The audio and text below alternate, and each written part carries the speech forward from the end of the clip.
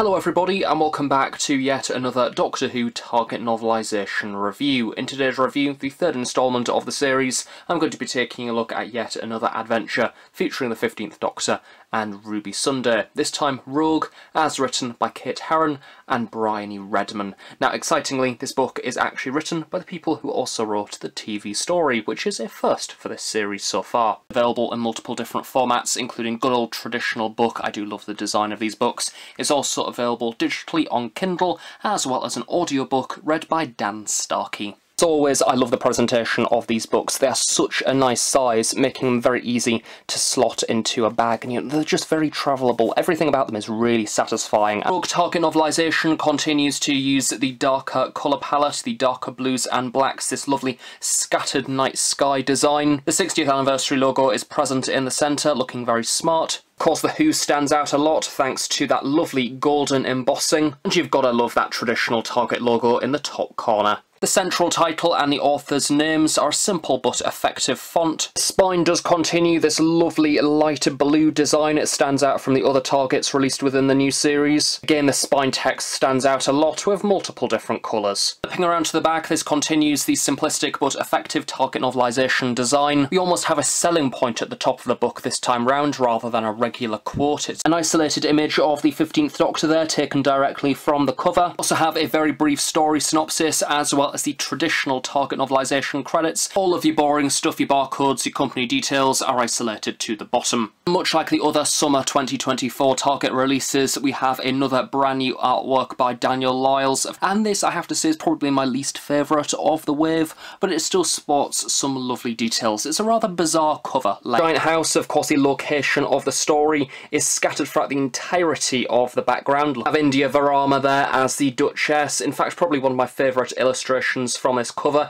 It's a shame she's not slightly bigger. I would have loved to see the colours and all the feathers and plumage in a little bit more detail. I feel like she's hiding away in the background. Same with this guy with his comical eyebrows and moustache. It's a shame that we can't see more of him. He's definitely hiding away. Another creepy bird woman there, again slightly lost in the rest of the image. Of course, Rogue and 15 are framed running along the outer gardens of the giant house. You have a hedge there in the background, a lovely vibrant green, a rather powdery looking floor. Our two central characters, of course, 15 and Rogue, these are really nice likenesses. Ncuti in particular stands out a lot. He's looking very shocked. I love the presentation of his very glamorous outfit. Detailing is absolutely spot on. I love the various shades used. White trousers there underneath and the cream shirt. It all looks incredibly stunning. I mean, it's a really lovely representation of Rogue's outfit as well. That darker blue, the light blue shirt, the slightly darker trousers. They're running along holding hands. Isn't that nice? I think the baby's head is at a slightly weird angle. I don't quite know. There's something about it I can't quite decide what. Don't get me wrong, Daniel Lyles is incredibly talented and the detail on this image is superb. I just think the placement of the imagery overall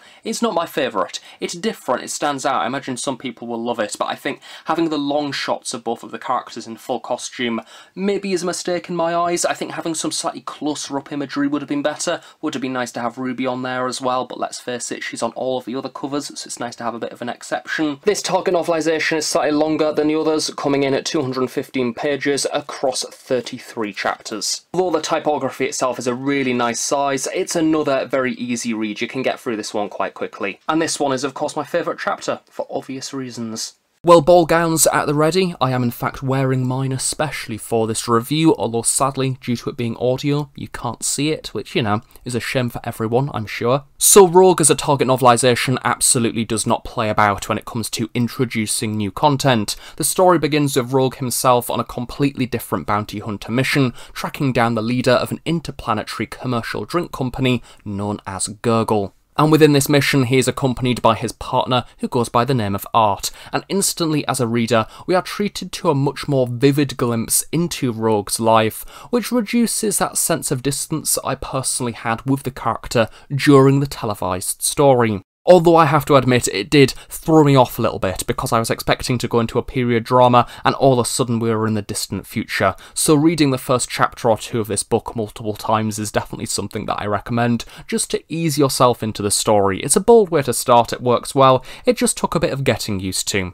As we know, of course, within the story, the loss of art haunts Rogue throughout the Regency period and no doubt the rest of his life, and the character parallels that he sees within the Doctor and art together create a really satisfying context, which makes the way that they click within the story feel a little bit more real. I'm starting to see already why they are somewhat attracted to each other. I will be honest, Rogue was one of my least favourite stories of the season, sadly. I still enjoyed it, I just didn't completely relate to the plot. I think it was a little bit out of my tastes when it comes to a Doctor Who story. As much as I love a historical, this one erred towards more the Bridgerton style romance, which isn't really my thing, which is completely fine. Doctor Who's all about variety, and this one wasn't really in my ballpark. So as a result, it was never going to be the first Target book that I read from the 2024 publications, but I'm glad that I did make time to get around to this one, as I now respect the narrative a lot more. That blend between science fiction and history really works. I love Ruby's excitement in picking this location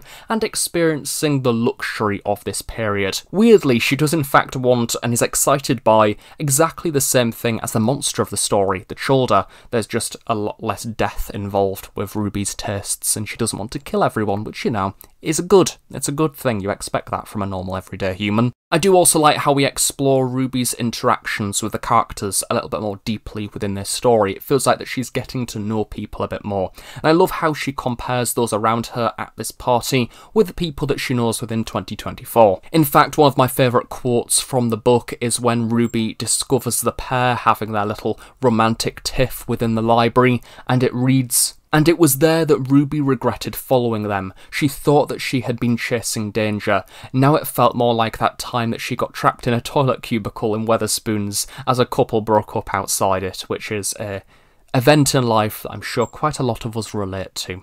I did love a good spoons night out within my uni years, I can't lie. I just love from this scene how we can infer that Ruby has nights out at Spoons, no doubt with her friends in the band that we got introduced to within the church on Ruby Road, and of course there is also mentions to house parties within this story, Dua Lipa, music playlists, people fighting over music playlists, and Ruby's habit to binge watch TV. And all of this makes Ruby feel like a living and breathing young adult that has came from 2024. She does 2024 things, and I'm just glad that there wasn't any mention to TikTok because I probably would have put the book down at that point. Imagine Ruby getting to an alien world and then seeing these vast alien vistas and it being incredibly impressive and she places down her iPhone and start doing a weird dance routine to Charli XCX. No thank you. I'm sure the 15th Doctor would drop her straight off back home. All that said, he'd probably actually get involved. I could certainly imagine Ncuti doing a number of TikTok dance routines. So moving on to the darkness and bloodthirsty elements of this story, as I think it does that quite well. The way the various deaths are described feel very grim, it mentions twisting and stretching flesh, the victims are described as carcasses, which this makes the Chuldur feel much more of a worthy opponent to the Doctor. They're incredibly animalistic and brutal, whilst also hitting home that they really do just kill for fun. They don't really consider humans as important at all. The Duchess, in particular, is very deadly. She describes herself as the arbiter of taste, so she clearly has an ego. And funnily enough, that ego is also present within the actual Duchess prior to her death. She's worried that she is dying in the wrong colour of dress, which I love that little reference. I thought it was very nice, it made me smile. But it goes to show how these people, the Chuldur, the people at this party, are just incredibly self centred and obsessed with themselves. They want to look good and they don't really care about anyone else in the room unless it's drama. The new content throughout this Target novelisation I thought was very measured. A lot of the significant new additions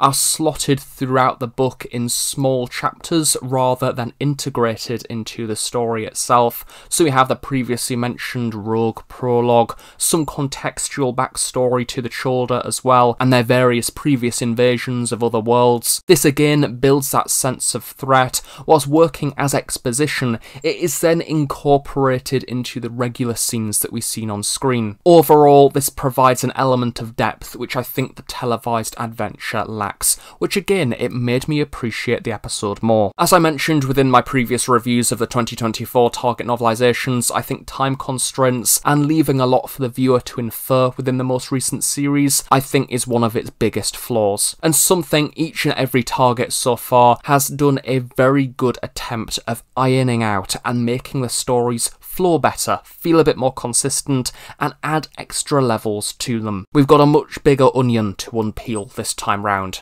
And when I hear more context, the exploration of Rogue's emotions, his loss, glimpses into his average day to day life prior to this adventure, making tools of art and sharing memories with art, that spirit of adventure and excitement the Doctor brings into his life, and he kind of reminds him what life is all about. This gave me more confidence in believing the relationship that they had on screen, and I could suspend my belief a little bit more and actually believe this relationship that was flourishing in front of me because I felt like in the episode it was a little bit forced, and other than having some chemistry, I couldn't particularly read that much into it. I didn't connect much to that dynamic. But in the book, I did appreciate it a lot more. Interestingly, of course, Ruby attaches herself to Emily within this episode, and I completely forgot about her when going into this book, and they navigate the party goers together, explore the Regency relationships and all of the drama which comes with it. And all of this does make it feel much more romantic, it's a period dramatic society, everything is very heightened, just like how you would get in Bridgerton, and we have references to the likes of Mr. Darcy too. I think there is a very clever choice of words which allows the older readers to perhaps perhaps read in between the lines of this book and perhaps understand a few things that would go over the younger audience's head, such as why it's quite useful to have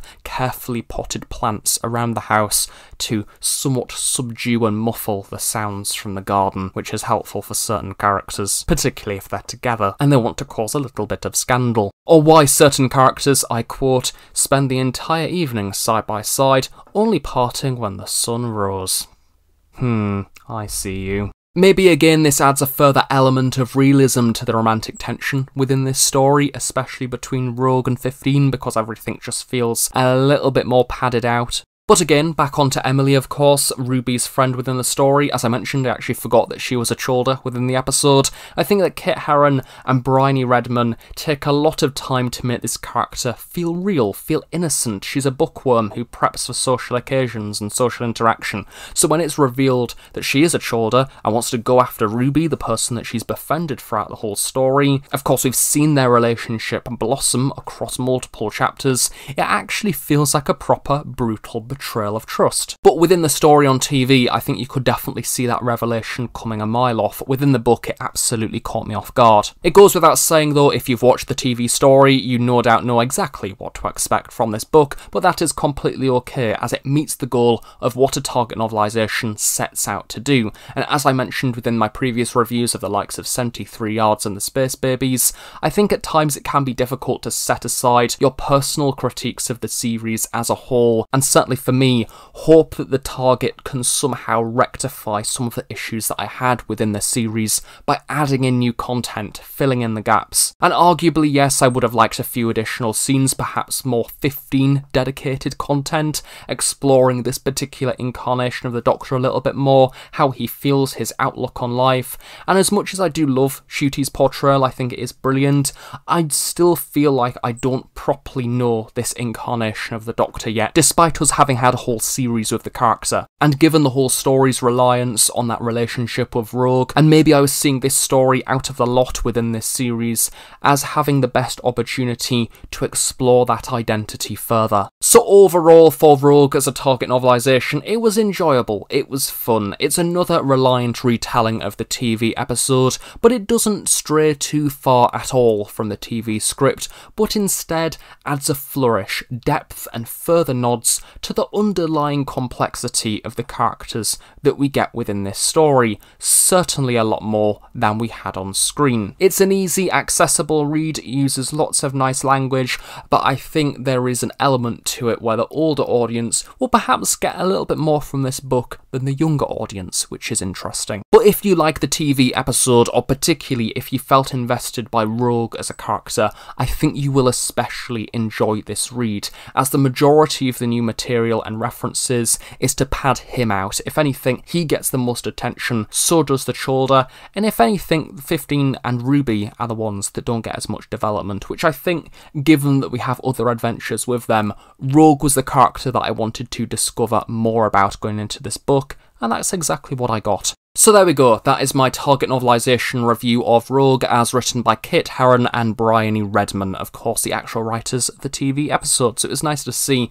them add in elements that they were no doubt considering for the TV story, but probably couldn't do for budget constraints. So I do appreciate this book, and I think I definitely found more respect for this episode having read the book, so that's good, it's a positive. If you do like target novelisations, do check out my other reviews. I've already covered 73 Yards and Space Babies, no doubt a review of The Church on Ruby Road, the fourth and final publication from the summer 2024 releases will be on the way soon, but up until then, have a nice day, I shall see you all next time.